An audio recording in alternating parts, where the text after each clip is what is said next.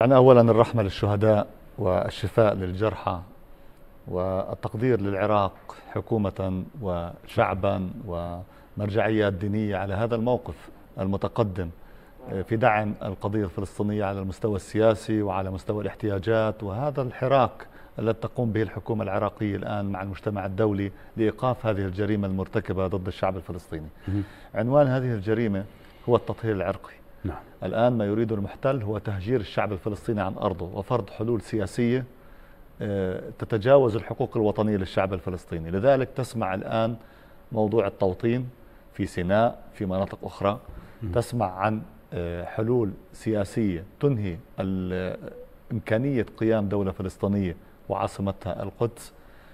تسمع عن آه، أيضا بعض المواقف لبعض الدول الذي كشف القناع عن وجهها. ولكن عودة إلى سؤالك حول نعم. الوضع الإنساني. آه، الوضع صعب جدا. غزة مساحتها 365 كيلومتر مربع. آه، يسكنها حوالي 2 مليون وربع آه، فلسطيني.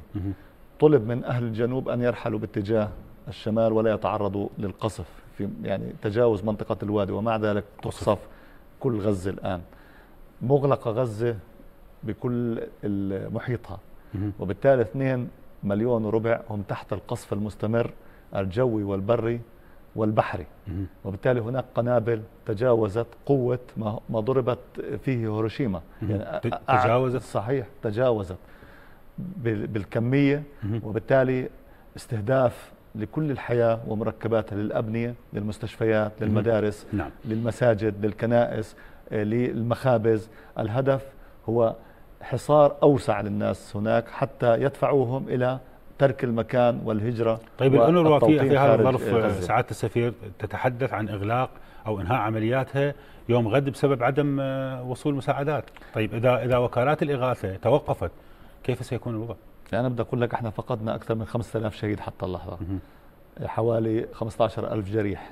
عندنا حوالي 2000 شهيد تحت الأنقاض ما زالوا حتى اللحظة.